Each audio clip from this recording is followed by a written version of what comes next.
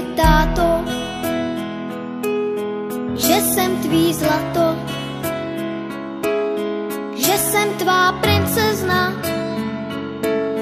poklad tvůj bez dna.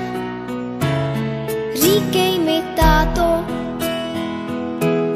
že jsem tvá pohádka, panenka maková, smíšek a amálka, vochomůrka křemílek,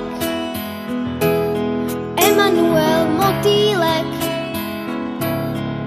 že mě nikomu nedáš, že nic lepšího nemáš.